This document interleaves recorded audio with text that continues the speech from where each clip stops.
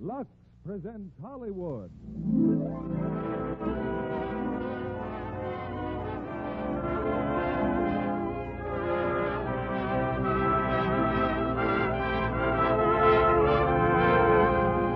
The Lux Radio Theater brings you Danny Kaye and Virginia Mayo in Wonder Man.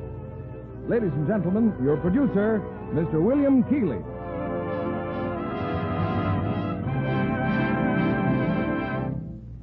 Greetings from Hollywood, ladies and gentlemen.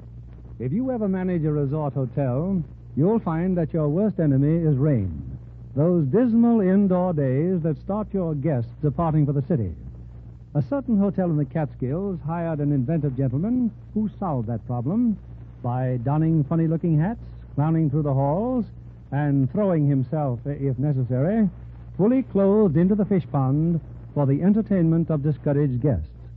From that beginning, Danny Kaye has soared to a phenomenal success on stage and radio, and co starred in two screen hits with his leading lady of tonight, Virginia Mayo.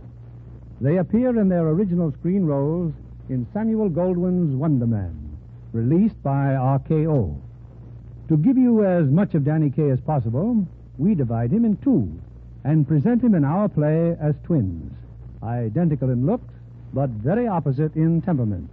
For things that look alike may prove quite different in performance. One of our friendly listeners in Georgia writes me I am a teacher of first grade at school, and every day before lunch we have washing time. One morning I brought two standard size cakes of soap, one for the boys and one for the girls. When I gave it to the children, I told them I had two kinds, Lux and another, and the girls could have first choice. Without hesitation, every girl said Lux. So you see, our Georgia peaches, even as early as the first grade, learn what's good for their complexions. Thanks to Miss Harvard of Unadilla, Georgia, and congratulations to her well trained and discerning pupils. It's time for our curtain and Act One of Wonder Man, starring Danny Kaye as Edwin Dingle and his brother Buster, and Virginia Mayo as Ellen. Oh, what a tangled web we weave when first we practice to deceive. Sir Walter Scott's Marmion in Canto 6, stanza 17. How aptly do these words describe the events I'm about to relate, although on second thought, perhaps Marcus Aurelius Antonius sums it up even better in his celebrated Meditations. You will recall his admonition get used to thinking there is nothing nature loves so well as to change our existing forms to make new ones like them. He goes on to declare, time is. Mr. Dingle, Yes, this is the Lux Radio Theater. We present plays here. I beg your pardon. Could you uh, uh, could you get to the point a little faster? The point? Who you are, how all this began, a, a sort of setting of the scene. Oh, yes, yes. Thank you, Mr. Dingle. My name is Edwin Dingle. It is my wont to spend time in the Higby Memorial Research Library gathering material for my forthcoming publication. Oh, that I had devoted a few moments to the world around me, too. How much better prepared I would have been for what occurred. For example, last Tuesday night, while I was contemplating Plutarch's Consolation to Apollonius, contemplations of a vastly different nature were occurring in the district attorney's office.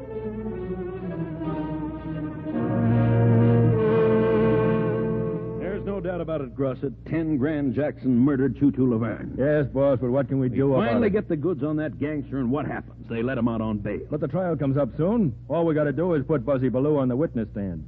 Baloo witnessed the murder, didn't he? Yes, but I'm worried. Baloo puts on his act every night at the Pelican Club. Ten Grand Jackson knows that. Well, I've tried to get that crazy comic to accept police protection, but you know how he is.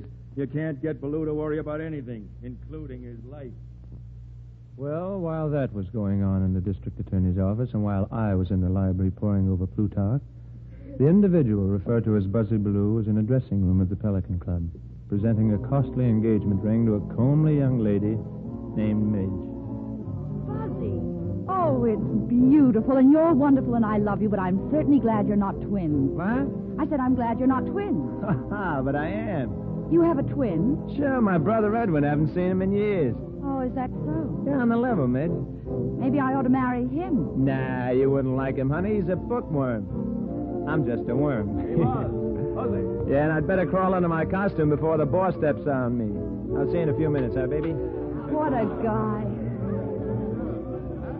Uh, hiya, boss man. Cut out the clowning and get into your costume. Hello, Monty. Oh, hello, Midge. Monty, look, after all these years, Ring. and we're getting married tomorrow.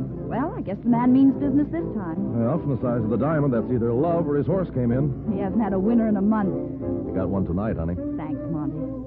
Well, I suppose you're going to say you'll always be a sister to me. Monty. Uh, skip it. Tell you one thing, though. If he ever tries to take the act to Reno, I'll be waiting. I know you will.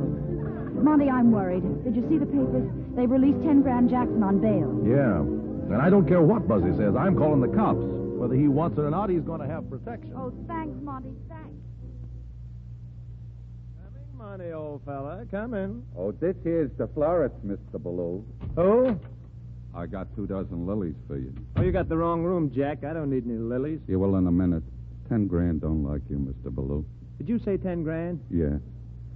Oh, this is gonna hate me as much as it's gonna hate you.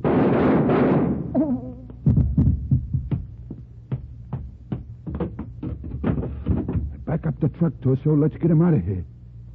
I repeat, while all this was ensuing, I, Edwin Dingle, was in the Higby Memorial Research Library. But suddenly a most peculiar feeling came over me. I heard music, strange music, eerie, bewildering. And when I glanced up, there was Miss Ellen Shanley, the librarian, staring at me. Mr. Dingle, what's the matter? Music, I, I hear music. You do? Wait a minute. Wait a minute, now it's gone. Mr. Dingle, you've been working too hard. And what's this you've been writing? Oh, just some notes on the Paleozoic era. Paleozoic era? But, Mr. Dingle, Yes. look what you've written. Is this a code or something? Buzzy. Buzzy, buzzy, buzzy. You've written nothing but buzzies all over the paper. How odd. You hear music, you write buzzy. Oh, and I have difficulty with my breathing, too. I feel cold and a little moldy. You'd better go home and take your temperature. Don't worry about me, Miss Shanley. It's probably nothing but my acrophobia. Oclophobia. Oh, yes, yes. Worst case in the history of psychiatry. You're leaving now? I think I'd better. But you'll be back tomorrow. Oh, by all means, Miss Shanley. I love the smell of leather bindings. Miss Shanley, um, I- I've been wondering, uh, I've been wondering if you'd have dinner with me. Oh, I'd love to. You would? Oh, yes. Good. Sometime around the first of next month. Oh. It's a financial problem. Something to do with my allowance. Oh, well, you could have dinner with me tonight. Oh, if you'd get something warm inside of you, maybe you wouldn't be hearing that music and feeling damp. Oh, I, I just couldn't. Oh, I've got millions of canned things. You have? I love canned things. Wonderful. By the way, Uh, by the way, Mr. Dingle, the, what is octophobia? oh, it's morbid fear of women. Oh. Well, is there any cure for it? Oh, yes, decidedly. Decidedly. well, if you don't mind waiting, I'll be ready in a minute, and then we can go to my place together. Oh, decidedly, Miss Shanley.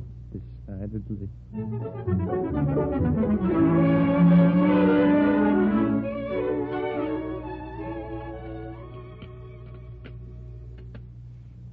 Well, dinner's almost ready, Mr. Dingle. You know, I've been thinking. You have the most extraordinary mind I've ever heard of. Oh, I wouldn't say that. You're very modest, aren't you?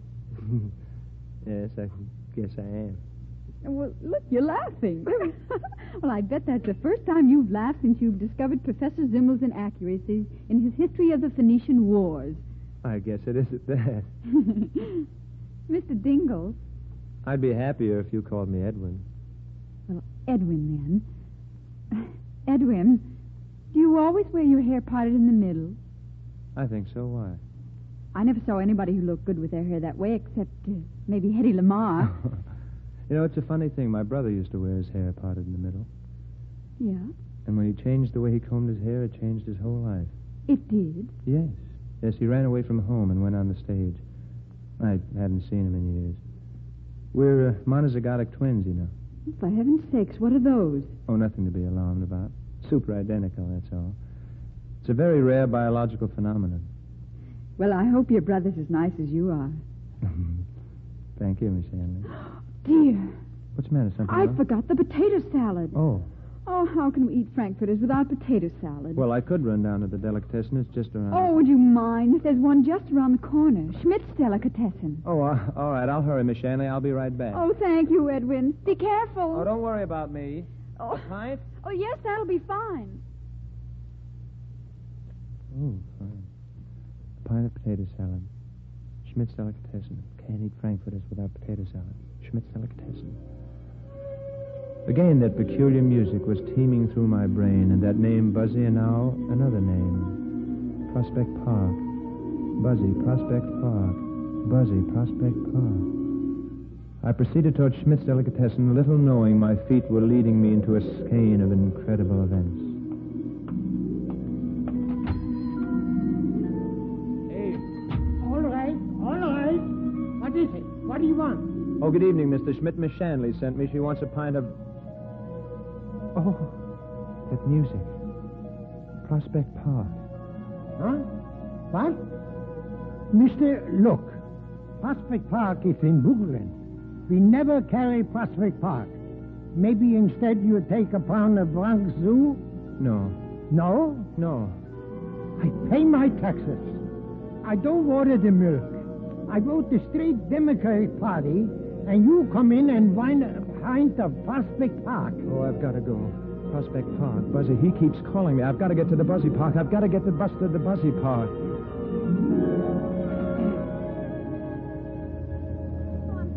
Buzzy, Prospect Park. Something is drawing me to Prospect Park like a magnet. An irresistible Buzzy. Uh, you live here in Brooklyn, mister? What? Oh, no. Then uh, why are you going to Brooklyn? Oh, but I'm not. The bus is. Oh, no, no. The bus is going to Schmidt's Delicatessen. It is? What for? Potato salad. Potato salad? Ellen, she's waiting for me. Driver, driver, stop the bus.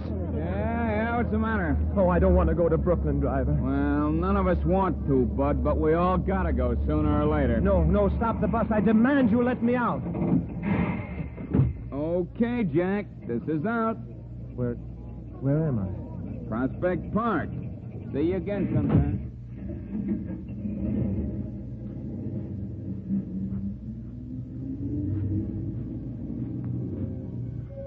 Prospect Park. So quiet. There's a bench there next to the lake. Maybe if I sit down and rest. Yes. Sit down and rest. Edwin! Edwin! I've been waiting for you. Who's calling me? Edwin! In the lake. Someone in the lake's calling me. They threw me in the lake, Edwin. Who is it? Where are you? I'm right behind you. Right behind. Buster. Buster, this is wonderful. Are you kidding? It's murder. Well, after ten years to meet you here in Brooklyn. You once told me you wouldn't be found dead in Brooklyn. Well, that was the only way they could get me here, kid. You know, Eddie, you haven't changed a bit. You still look just like me. Well, thank you very much, Buster. You look just like me. All the time, Edwin. Sharp as a tack, all the time. But what are you doing here? Eddie, did you ever see a murder? Um, m- murder? Good heavens, no. Well, I did. I told the district attorney and they picked up 10 grand Jackson on suspicion, but before I could swear out a statement, he got out on bail and swore he'd knock me off. Oh, well, that, that places you in a very precarious position. Well, not any longer, kid. They killed me a few hours ago. Buster, you know I don't appreciate that kind of humor. Honest, kid, I'm dead. Am I to believe you're an apparition? Oh, believe what you want, kid. Just watch this. You see this big statue here? Well, watch, and I'll walk right through it. Buster, be careful. You'll bump your nose. Buster, this is the most. Buster. You see, kid, it's a cinch. Oh, it's impossible. An optical illusion, that's what it is. Buster, haven't you outgrown those practical jokes? Now, look, Eddie, you gotta believe me. I need your help. Well, I'd do anything for you, Buster, but I refuse to believe you're not alive. I can see you. I can hear every word you say. Well, look, I can't explain it, Eddie. Maybe it's because we're super identical twins. I don't know. All I know is that you can see and hear me, but nobody else can. Well, this is most awkward. I knew you'd come to no good when you left home, Buster Dingle. Buster Dingle? I changed my name years ago. Didn't you ever hear of Buzzy Baloo? Buzzy. Buzzy? Oh, that name, it, it's been going through my mind for hours. Uh, certainly, they've been trying to contact you ever since they knocked me off. That's why I was drawn to this spot. Thales of Miletus Paradox. Come again? The control of spiritual magnetic forces over the material. Thales was right. Well, pay the man the $64. I don't know from Thales. All I know is that I got you here to help me fry that rat, 10 grand Jackson. Now, Eddie, you've got to put 10 grand in the electric chair. Not so loud, Buster. Uh, there's a sailor and this girl. They're going to sit on the bench. Don't worry, kid. They don't even know I'm alive. I mean, I mean, dead. Oh, of course. Pardon me, Buster. Now, get this, kid. Nobody knows that 10 grand had me bumped off, see? Now, people probably think I've just disappeared, so you've got to take my place. Now, all you have to do is to be me day and night until the trial is over. But there's 10 grand Jackson. If he had you killed and he thinks I'm you, he'll most certainly kill you. Uh, I mean me. Uh, no, I'll... Oh, dear. Well, you're not scared, are you? Fear is not in the Dingle lexicon, Buster. Well, then what are you worried about? I can handle everything. No telling what I can do once I really learn the ropes. Didn't I bring you here when you want a potato salad? Potato salad. Potato salad? Oh, I have to go, Buster. Take it easy, kid. Look, they're staring at you, the sailor and his girl. Hmm? Oh, uh, good evening. Hey, Harry, let's get out of here. That fella, he's, he's talking to himself. Yeah, Brooklyn's full up. They don't see you, they don't hear you. Then you are dead, Buster. Well, now, what's this? What I don't understand is. Buster, what are you doing? now, stop it, Harry. Huh? What's the matter? I said stop it. Hey, what's the idea of hitting me? I didn't do nothing. Oh, no, not much. Okay, okay, I'm going. Go on, go. I'll wait in the car. If you ain't there in five minutes, I'm going. Hiya, babe. You read any good books lately? Don't be vulgar. Vulgar? He got fresh with me, so I slapped him. Uh, I'm sorry, miss. I wasn't talking to you. Oh, what a setup when I think of all the time I wasted living. Please be serious. Did you say you sing and dance in a nightclub? Well, I, I work in a bakery, but a lot of people take me for Lana Turner. Mm, you can fool me, honey. Please stop that. How am I ever going to take your place? Take my place in the bakery? Will you kindly stay out of this conversation? Why, you talk to me first, you masher. Oh, no. Now, look, you started all this. You made me come here. Now you want to have fun with me. Fun? Well, of all the... Harry! Harry! Harry! Harry! Fresh with me. You asking for trouble, Bud? Yes, if it's trouble, Bud. Now, stop it. Let's settle this alone. You come up to my room like you used to. Uh, take off your glasses. Oh, very well. But why? But why, he says. This, but why? Hey, you see, honey, you can't trust nobody these days except in us sailors. Come on, baby. Mm, oh, I have a vague feeling this is not going to work out, Buster. Well, come on now, kid. I'll take care of you if you get in any real trouble. Why, in my new setup, all I probably have to do is to go, and I'll be able to make people disappear, stop bullets, all kinds of stuff. Now, you get right down to the Pelican Club and start taking my place. But, Buster, it's futile. I haven't the slightest knowledge of how to execute a song or a dance. Well, stop worrying, will you? I got a gimmick. What's a gimmick? Well, it's a cinch. Anytime you need me, you'll hear the music. You remember the music. Oh, yes, distinctly. Okay, when you hear the music, I'll step inside of you and use your body. Whenever I hear the music, you'll step inside of me and use my body? What do you mean you'll use my body? I'll give you a demonstration, kid, like this, see? Oh, no, no, mm, Buster. Oh, what are you do? Buster, get out of get get out of me, Buster. I must talk to you immediately, Buster. Stop. Will you get out of me? Buster, please, you can't do this to me. I, I warn you, this masquerade will be Palpably inadequate. Palpably inadequate. Palpably inadequate. Palpably inadequate. Bruce. Oh, now stop making me sing, Buster. I have no desire. I... Oh, you should be ashamed of yourself, Buster. Well, I gotta go now, Eddie, and so do you. Pelican Club. So long, kid. Buster, Buster, come back here. Roll him in the aisles, Eddie boy. Buster, Buster.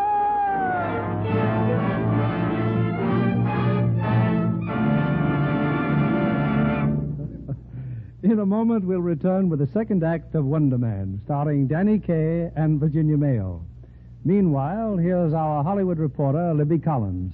What's the special news tonight, Libby? Well, I've just seen a picture, Mr. Keighley, that you might call extra special.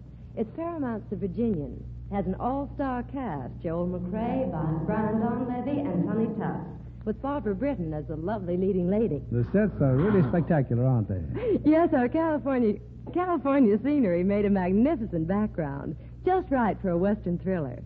And the costumes, too. Just wait till you see Barbara Britton in some of those full-skirted dresses of 1885 with the hourglass silhouette. Lucky for her, she has such a tiny waistline. I've seen the picture too, Libby, and I never saw a star look lovelier in Technicolor. Barbara's a real beauty, isn't she? No, she is that, Mr. Kennedy. Huge blue eyes, natural blonde hair, and a complexion that's famous as one of the loveliest in Hollywood. I'll make a bet with you, Libby. I'll bet I know what complexion care she uses. Oh, you can't lose on that one, Mr. Kennedy. What else could it be but Daily Lux toilet soap facials? And I can tell you that soft, luminous skin of hers is a wonderful tribute to gentle Lux soap care. I think our feminine audience might be interested to know how easy it is to give their skin the same care nine out of ten screen stars depend on. Here's exactly how Barbara Britton takes her active lather facials. She covers her face with lots of the creamy Lux soap lather and works it well in. Then she rinses, first with warm water and then cold, and pats her skin dry with a soft towel. Quick and easy, but it certainly does the trick, Barbara says. These beauty facials really do make skin lovelier. Recent tests by skin specialists proved it. Actually, three out of four complexions became softer, smoother, hmm. with daily Lux soap care. Now, here's a tip for women everywhere. Why not try Hollywood's own beauty soap? Begin your active lather facials tomorrow.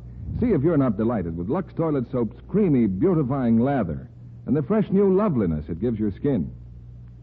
Our curtain rises on Act Two of Wonder Man, starring Danny Kaye and Virginia Mayo. And here's your producer, Mr. William Keighley. Now, uh, let's see, where were we? Oh, yes, Prospect Park, Brooklyn, where Edwin Dingle, uh, seeking a pint of potato salad, encountered instead the uh, highly animated ghost of his brother, Buzzy Baloo. In this I uni- beg your pardon. Were you a witness to these events? Why, no, of course not, Mr. Dingle. I was only But trying. please, you worry about Lux. I'll worry about what happened next. Well, uh, this is highly irregular, Mr. Dingle. So were my experiences. I, Edwin Dingle, had to go to a cabaret and pose as my brother. What? Why was this mass masquerade masquerade necessary? Because I was the only one who knew that Buster had been murdered. Only by artfully concealing this knowledge could the cause of justice triumph. Full of misgivings, I entered the stage door of the Pelican Who just came in? It's Why, Buzzy Baloo, look at it. Careful, boss. I bet he's pulling some new kind of gag. All right, all right, Buzzy, I see you. Um, good evening. And who do you think you're fooling with those cheaters? I'll thank you to return those cheaters. All right. But eyeglasses won't help you. Midge will slug you with them on or off. Midge? Midge who? Why don't you stop? Hey, where have you been? She's been crying her eyes out. That the way to treat your future wife? Wife? Oh, uh, uh, uh, wife. Oh, yes. Well, you see, I, uh... Listen, Buzzy, are you going to marry her tomorrow or not? T- uh, t- uh, t- tomorrow? Yes. Oh, yes. Yes, of course. Uh, certainly. Okay. I'll be a good Joe. Slip her a kiss and square the beef so she'll know you're really on the up and up. Very well. I'll be a good Joe and slip her a kiss and square the beef so she'll know I'm on the up Where you going? and up. Uh, to converse with Midge. In here, you screwball. In here. Oh.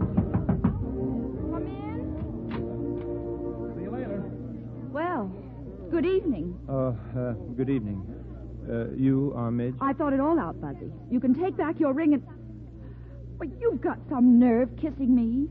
Oh, I just slipped you that Joe to indicate that I'm a square beef and that everything is on the ascendancy. Someday you won't get away with this clowning, Buzzy. It's a good thing I'm almost as wacky as you are. Can I bring it in here, Mr. Blue? Yes, waiter, what do you want? Uh, I've got your sandwich, Mr. Blue. Should I bring it in here? I beg your pardon? Just your regular sandwich and some potato salad.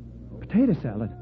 Oh, she's waiting for me. Excuse me. There's an urgent matter I must tend to immediately. Buzzy. Uh, telephone. I must get to a telephone. Telephone. I must. Get... And that's the guy I'm going to marry tomorrow. Oh, I, I'm sorry, Ellen, but numerous complications have But all arisen, you and had I. to do was to go to Schmidt's Delicatessen. But I know, Ellen. I know. I'll explain it to you later. I've been waiting for hours. You might have phoned before this. Oh, but I couldn't honestly. I hear music. You're in a nightclub. Oh, but you don't understand. I'm well, not. I hope you and your girlfriend have a lovely time. And from Oh, now but- on, I'd be much obliged if you did your studying in another library. But Ellen- Goodbye. Ellen, hel- hello, Uh, hello. Oh dear. You better get going, Buzzy. You're on in a few minutes. Oh? Hey, guess who's out in front tonight? Ten Grand Jackson. Who? Ten Grand Jackson. Gave him a ringside table. Oh, no. Uh, ten grand. Oh, I simply can't. I won't. All right, now hurry up and change. Midge is just starting your number, and you're on next. Buster. Buster.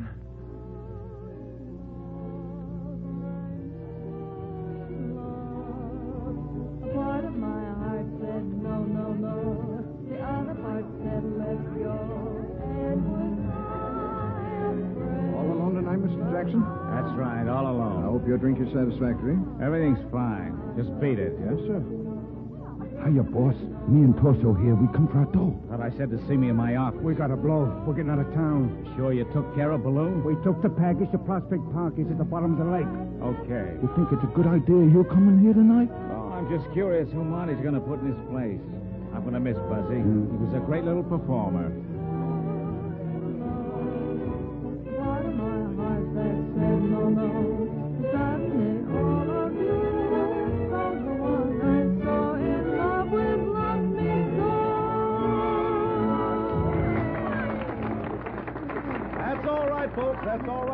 Be back later. Right now, here's a man who follows Midge in more ways than one. The star of the Pelican Club, Buzzy Baloo. All yours, Buzzy boy. Come on out and let that spotlight shine. Buster.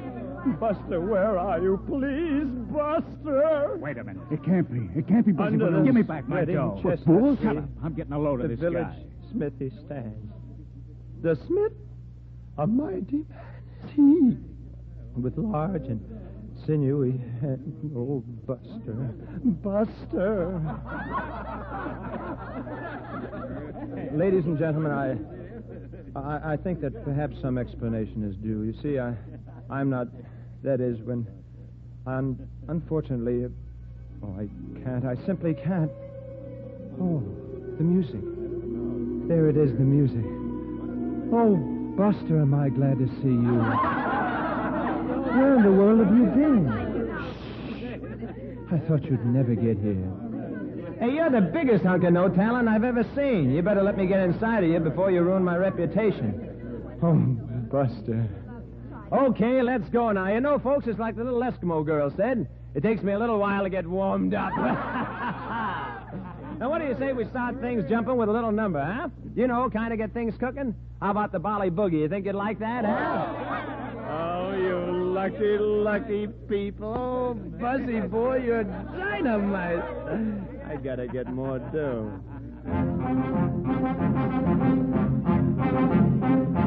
Somewhere off the coast of Java fell a little piece of lava that grew up to be the island known as Bali.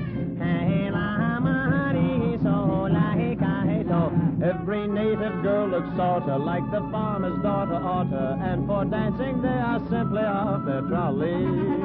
La, la, me, ka, so, la, hey, ka, hey, so.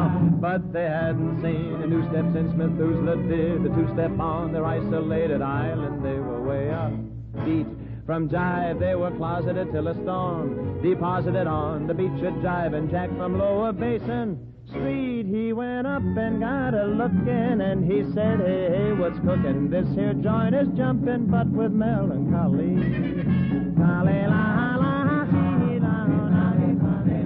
So he took their native movements, added in the groove improvements, and here's the way it's played on the Bali Hit Parade.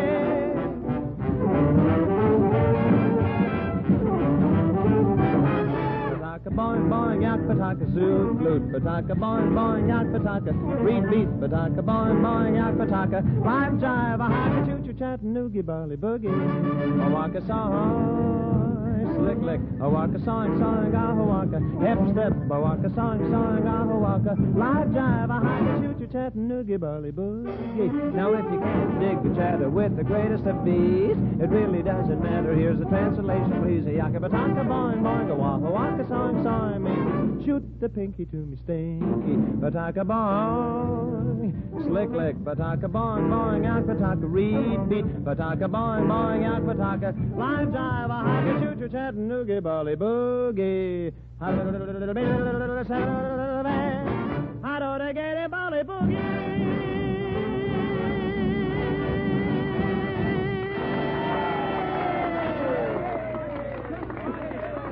Thank you, thank you, thank you very much. Oh, I uh, see a particular friend of mine is here tonight.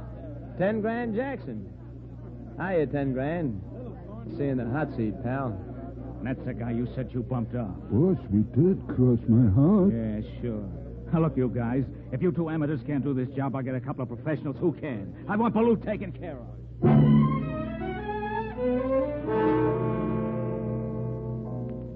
A little later that night, Monty summoned all of his entertainers to a supper party. Buster, uh, that is I. No, Buster, sat next to Midge. I must add there was an abundance of champagne on the table. All right, all right, quiet, everybody, quiet. I, um, I have the doubtful pleasure of announcing that Midge and Buzzy are going to get married.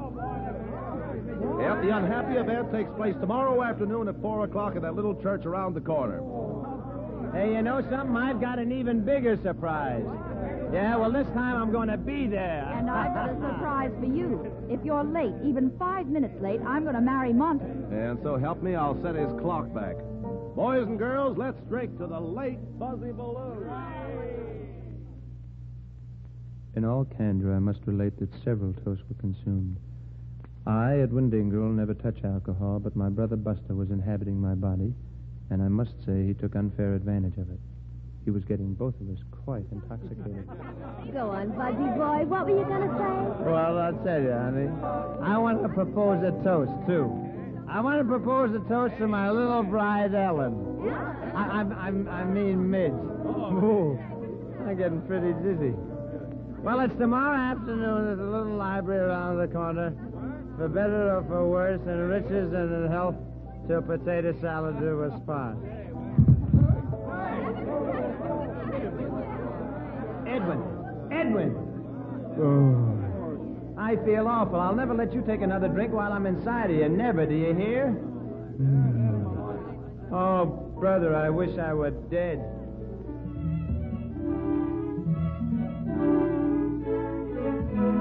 It was not kind of Buster to leave me in my condition. Monty assisted me to my dressing room, uh, Buster's dressing room, and left me to what he called sleep it off. When I awakened, I stole furtively away from the still celebrating guests and hastened to my quarters at the YMCA. Unfortunately, this time I overslept. And It was not until mid-afternoon. That's why I phoned. I tried to get away, but I couldn't on account of Midge because we were engaged to be married. Th- that is, Buzzy and Midge were to be married. But I was Buzzy then. Oh, well, who are you now? Oh, I myself now. But I don't know how long it will last. All right, I've heard your story. You may leave. Oh, I'm, I'm sorry, but you must come with me. I, I'm taking you to the church. What church? Well, I'll get the girl who's waiting there to marry me to tell you how, when I was Buzzy Baloo, I got mixed up in this because Buzzy was supposed to marry her. So when I'm not Buzzy, why should I have to? We'll face the whole thing together. Oh, we will. All I'll do is. Ellen, look. Huh? Those two men, they're staring at me. You're as nutty as a fruitcake. We've been looking for you, young fella. Oh, now, just a moment. Now, you see this badge? District Attorney's Office. Why? What's he done? That's between him and the DA, miss. Come along, you. Good, goodbye, Ellen. Goodbye. I'm terribly sorry about the potato salad, and maybe if you could get a chance, you could visit me and bring me a little fresh fruit, maybe. And to think, only yesterday he was just a nice, sweet, ordinary genius. Well, let's get down to business, Mr. Baloo. You told me you had the goods on 10 Grand Jackson for that murder last week. Yes, but I, I, I, I can't make a statement yet. Why not? I'm waiting for something to happen. Buster. Oh, what to happen? Buster. Buster, please, Buster. Doesn't look as if it's going to happen, Mr. O'Brien. Oh, now, calm down. Now, you saw Jackson at the scene of the murder, didn't you? Oh, yes, yes. I, I surprised him in flagrante delicto. Well, good. Proceed. Well, I ripped off my stint at the Pelican Club, where I'm engaged as a song and dance entertainer. Yes? Uh, yes. Uh, I was a little bit brought down, so I decided to take a walk. I see. Whereupon I see this hoodlum, ten grand, drive up in an armored car. He was stalking his victim, a tall, thin man with a red beard. There was a hail of lead, and the victim fell, fatally pierced through the pericardial region. there you are, Mr. O'Brien. It's an open and shut case. May I go now? Oh, just a minute, Mr. Baloo. Just one or two minor details. Oh, well, it was quite dark. I may have slipped up on a detail or two. In the first place, the tall, thin man with the red beard was a short, fat fan dancer named Choo Choo Laverne. Oh, amazing. Her disguise was perfect. And in the second place, she was strangled, not shot. Mr. Baloo, you told me you knew the name under which Choo Choo Laverne rented the safe deposit box. You said it contains evidence of 10 grand's counterfeiting racket. Now, what was the girl's real name? And no more of your phony quibbling. Uh, that's her name, Phony Quibbling. Hmm? Uh, Fanny Quibbling. Buster! Buster, you keep yelling about. Somebody higher up, eh? Yes, that's it. Somebody higher up, and I wish you'd hurry and come down. Buster! Now, you listen to me, Baloo. Are you trying to wreck my political career? No. You're involved with 10 Grand Jackson. No. You're a member of his mob. They're paying you off to do this to me. No, no, no, Buster! I'll give you just one more chance to help me. I'll railroad you for withholding evidence. All right. All right, I'll, I'll tell the truth. Well, that's more like it. Well, I went to Schmidt's Delicatessen, but the music made me feel cold and damp, and the potato salad turned into Prospect Park. What? Well, then I jumped off the bus, and there was Buster walking through a statue because he was dead. Holy jumping Republicans. Throw this maniac out of here and drop the charges against 10 Grand Jackson. But, boy. We've got no case. You can't drop the charges. Ten grand did it. Buster will tell you. Buster, Buster, please come down and get inside of me. Please hurry, Buster, please. Take him away. I can't stand the sight of him. No, no, they'll kill me, too. I want police protection. Police protection. I'm issuing an order to every policeman to arrest you on sight, shoot you if necessary, if you so much as go near a cop. Now throw that idiot out of here. But, Mr. O'Brien. Mr. O'Brien.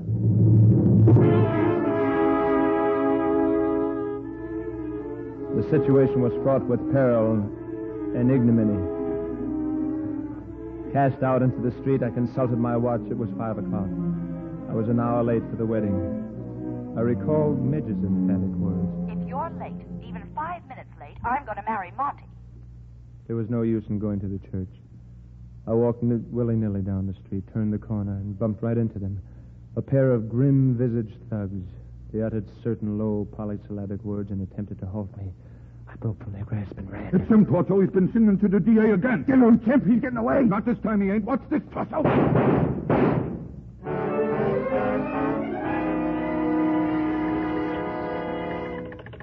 Hello. Hello. But I just have to talk with the district attorney. Sorry, miss. He's gone. That young man he arrested, it's not really out of he's not really out of his mind. It's my fault. I upset him because he's not used to girls. You'll have to talk to Mr. O'Brien. But when will he be back? He won't. He's going to the opera tonight. The opera. But maybe he was telling the truth. Maybe his life is in danger. What will he Sorry. Oh, Edwin. Oh, poor, poor Edwin.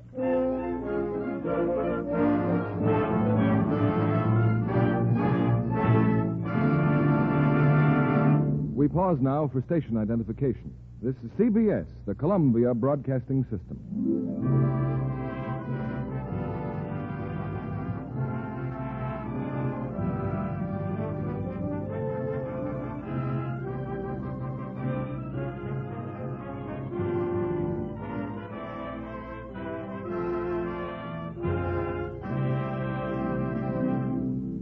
In just a moment, we'll bring you the third act of Wonder Man, starring Danny Kaye and Virginia Mayo.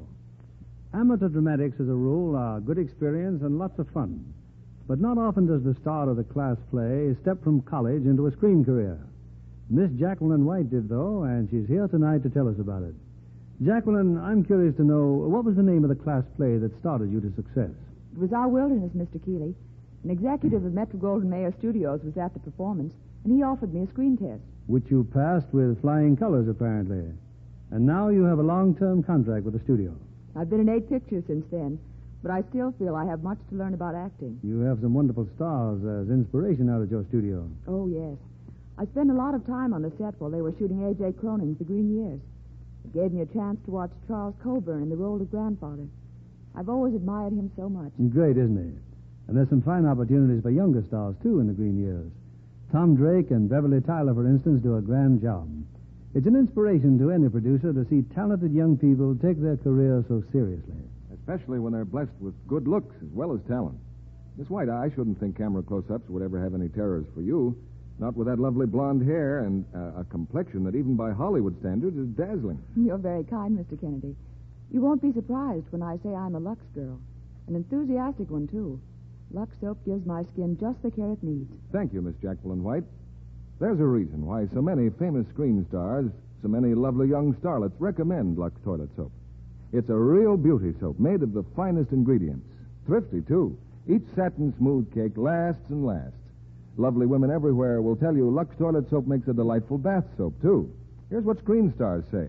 The creamy, active lather makes daintiness sure. And you'll love the flower-like fragrance a Lux Soap Beauty Bath leaves on your skin. We continue with Act Three of Wonder Man, starring Danny Kaye as both Edwin Dingle and Buster Baloo, and Virginia Mayo as Ellen. Here's Mr. Keighley at the microphone. Well, Mr. Dingle? Mr. Dingle, Can't you see I'm preoccupied? Aren't you going to give us a preface to our third act? Oh, I can't. I'm trying to escape. Those characters are pursuing me, Chimp and Torso. They're still shooting at me. Buster, do something. Buster! It appears Mr. Dingle is correct. Ten Grand Jackson's gunmen are hot on his heels. But Mr. Dingle, in an amazing exhibition of running and dodging, finds a temporary refuge. On a fire escape outside Ellen Shanley's apartment, he taps frantically on the window pane. Who's there? Who's at the window? Who is it? Mr. Dingle. Uh huh. Two gentlemen are after me. They're watching the front door. I had to come up this way. If a policeman sees Don't you. mention the police. They have orders to shoot me on sight. That I can understand. Well, goodbye. No, don't shut the window. Please. Listen, I was just with the district attorney. Edwin Dingle, you're the biggest liar in the whole world. I happen to know the district attorney is on his way to the opera. Ellen, please don't doubt me. I, I couldn't lie to you. I, I couldn't lie to anyone about whom I feel. That is, whom I feel such a feeling as I feel. I'd like to believe you, Edwin. Then may I come in for a minute? Not until I've heard what you have to say. Well, my brother Buster is Buzzy Baloo. He was killed last night, and I told his ghost I'd help him out. But I didn't think he'd keep getting inside of me, so... Oh. Ellen, Ellen, please. You're positively shameless, Edwin. Maybe when you're ready to tell the truth, I'll listen. I am telling the truth. There's someone at the door, so please climb down and go away. Come in. All right, sister. Where is he? Oh, my goodness. Come on, come on. Where's he at? He? Who? Your boyfriend. Please, those guns. There's nobody here. Let's take a look around, Torso. What's that? Huh? Who made that noise? Oh, I did. I was just tapping on the radiator. See? Like this. Oh, I can't say as though I follow you, sister. well, it's cold. When I rap loud enough, the janitor turns the heat on. Oh, oh that's the janitor knocking back. It's, uh, it's very interesting, very. Well, there must be some mistake. I know he's peculiar, but Mr. Dingle wouldn't hurt a fly. Dingo, Dingo. Who is Mr. Dingo? Well, you, you said my boyfriend, didn't you? How do you like that? She's two-time in Buzzy Baloo whilst he's two-time in Midge Malone. Buzzy Baloo. And he was telling the truth. I mean, isn't Buzzy Baloo dead? He crossed us up. We bump him off and he bounces back. Dead, huh? How much do you know, babe? Yeah, we want to ask you some questions. All right.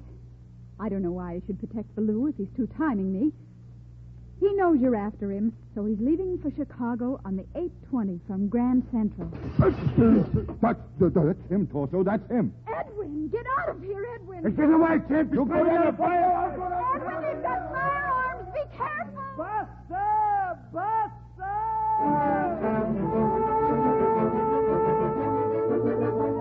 Once again, I was fleeing for my life. I turned the corner, and back at Schmidt's Delicatessen, I found sanctuary behind the pickled herring barrels. But I was not alone. Waiting there for me was Buster. How you doing, kid? Oh, Buster, at last you're here. I've been trying to make it for some time, Edwin, but I had a hangover that was out of this world. Now, look, kid, never take another drink while I'm inside you, will you? Oh, you must help me, Buster. My life is in jeopardy. Kid, I got bad news for you. I can't help you anymore. Oh, but you simply must. They're coming after me. Just go like you said you would and make them disappear. I wish I could, pal, but you see, I, uh, I've run out of ectoplasm. Oh, no. From now on, kid, you're strictly on your own. But what shall I do? Buster, perhaps if you give me the evidence on 10 Grand Jackson, I could get it to the district attorney. He's attending the opera. Okay. Now, here's the dope. The girl who was murdered was. Choo Choo Laverne, the fan dancer. Yeah, yeah, that's it. Now, when she threatened to spill the beans to the cops about 10 grand's counterfeiting, he hit her over the head with a beer bottle and choked her. I remember. Beer bottle. She threatened to tell the police. Now, I saw 10 grand carrying her out. Now, Choo Choo Laverne's real name was Minnie Smith. Now, remember that, Edwin. Minnie Smith. And she hid the evidence she had on 10 grand in a safe deposit box under that name. Minnie Smith. Oh, Buster, I wish you could arrange to accompany me to. Uh... Which way did he go? What's I that? hear him, Jim. He's talking to somebody. Well, kid, if you get out of this one, you'll be a new man. And if you don't, I'll be seeing you. Buster. Buster, don't go. Come back, Buster. Come back. Buster!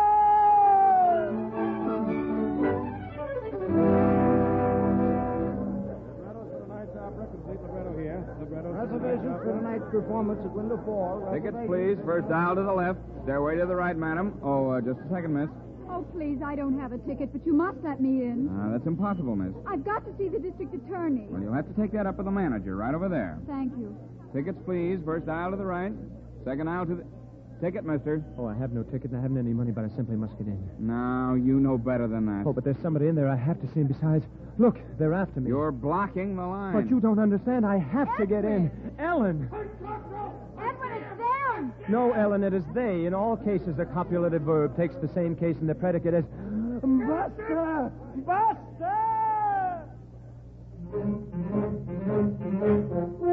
This was becoming monotonous. I dashed to the street and fled into the first open door.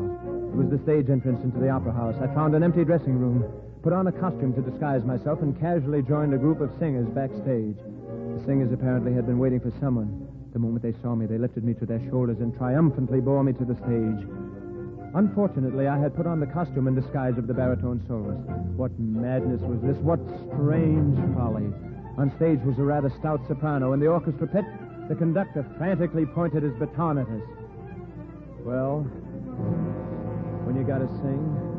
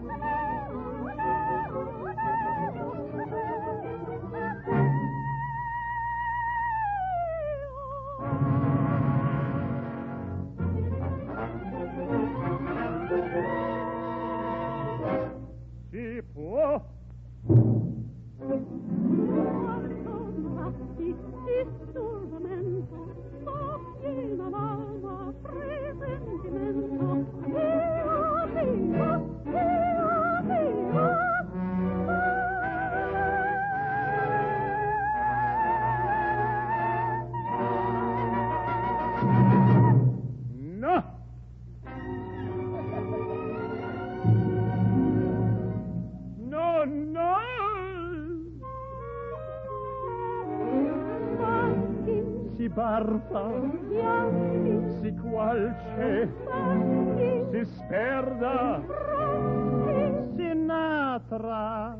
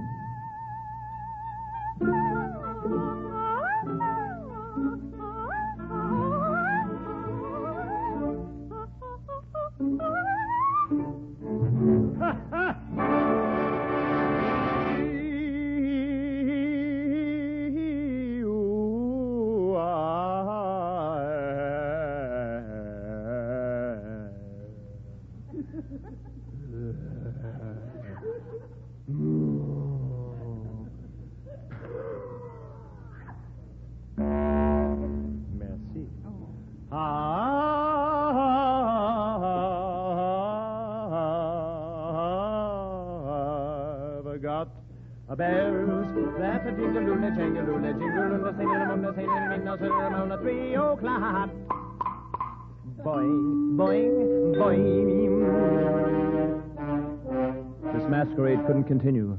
I started off stage, but there in the wings stood Chimp and Torso. They couldn't shoot. The chorus stood between them and me. But if they couldn't shoot, I couldn't leave. Glancing up there in the box, I saw Mr. O'Brien, the district attorney. Ellen was with him. Here was my opportunity to deliver Buster's message.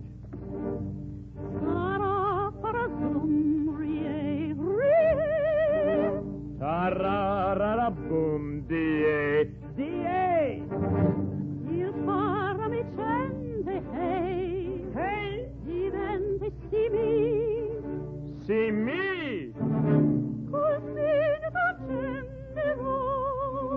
Du killer och gangster och nabbar oh grabbar mig, stabbar mig.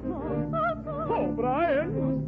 O'Brien! O'Brien! O'Brien! O'Brien! O'Brien! Hey!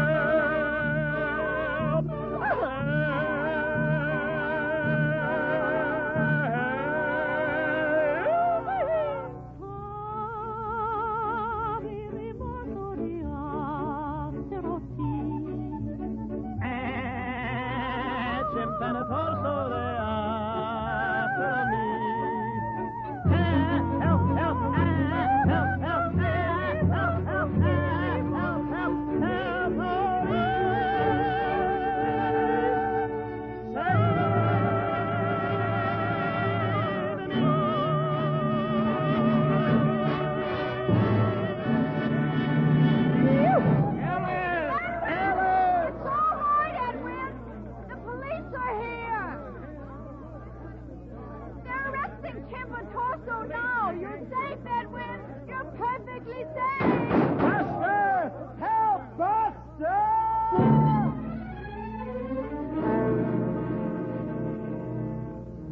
But Ellen was right. Chimp and Torso were arrested. Ten Grand Jackson was convicted. Buster was avenged, and Ellen and I, well, I no longer live at the YMCA, if you know what I mean. Edwin, Yes, darling. We've been married a whole hour now, Edwin. Uh-huh. You know, I read in Martin's notes on American geology that the tremendous flow of water over Niagara Falls removes the suballuvial soil at the rate of two and three tenths feet a year. Suballuvial, that is. you know, honey, what you need is to get away from those musty old books. Suballuvial. Edwin, that doesn't sound like you at all. Oh, I'm not going to be like me at all anymore, suballuvial. I guess there'll always be a little bit of suballuvial inside of me. Edwin, do you think Buzzy will be dropping in on us for the rest of our lives? Oh, no, honey. I don't think we'll ever hear from suballuvial again. no, stop, Edwin. But, Ellen, I'm not doing anything. Edwin, you're tickling me. Oh, but that's what. Buster! I'm a little devil, ain't I?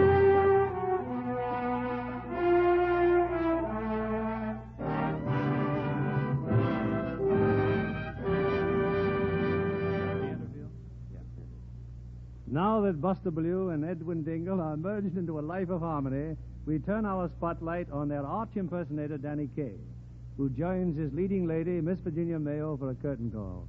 Danny, how did you like playing twins? Oh, well, it sort of had me beside myself, Bill. well, you and Virginia make a great team. And I know our audience is looking forward to your next co-starring picture for Sam Goldwyn. Have you seen a, the kid from Brooklyn, Mr. Keighley? At the preview Tuesday, Virginia, enjoyed it immensely.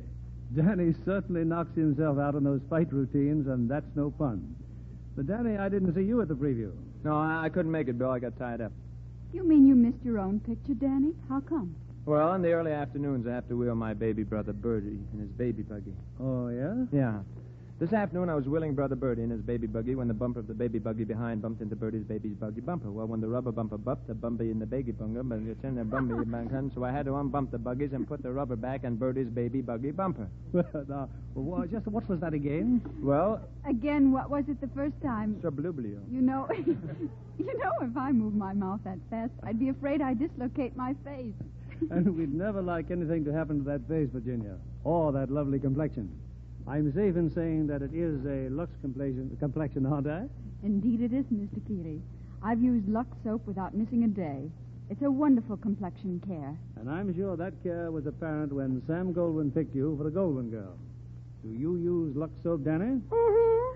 Every Sunday night, I bathe my baby brother Bertie in his rubber baby bath and let those Lux soap suds soak baby brother Bertie till he get get get get get You mean uh, baby brother Bertie balks at his sabbatical ablutions, barring being bathed with baby brother Bertie's best beloved brand of bath soap? Yes, I mean that baby. Br- oh, now wait a minute. That's too much competition. Now tell us what you're doing next week, Bill. Next Monday night, we bring to this stage an old favorite of the Lux Radio Theater. Wallace Beery co-starred with Marjorie Main in Metro Goldwyn Mayer's rollicking screen hit, Barnacle Bill. Wally appears as a lovable, lusty fisherman whose life is one of dubious adventure and whose story is mixed with sentiment and humor, salted heavily with the excitement of the waterfront. It ought to make a wonderful treat for your listeners, Mr. Keighley. Good night. Good night. You are wonderful in Wonder Man. Eight months ago, we celebrated peace. But there's one war that never ends man's war against humanity's distress, against disaster, flood and famine, accident and suffering.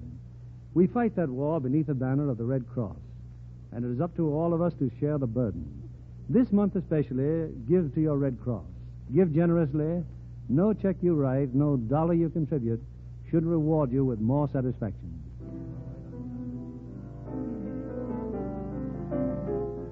Our sponsors, the makers of Lux Toilet Soap, join me in inviting you to be with us again next Monday evening when the Lux Radio Theater presents Wally Beery and Marjorie Main in Barnacle Bill. This is William Keighley saying goodnight to you from Hollywood. This week, America salutes the motion picture industry and the stars of film and radio who gave their time and talent to the cause of victory. From the War and Navy Department, special plaques are being awarded, representing the thanks of millions of servicemen and women. They'll go not only to Hollywood screen stars for their personal efforts in the sale of war bonds, hospital appearances, and overseas entertainment, but also to the motion picture studios in gratitude for millions of dollars worth of films donated for the entertainment of our fighting forces. Danny Kaye can be heard in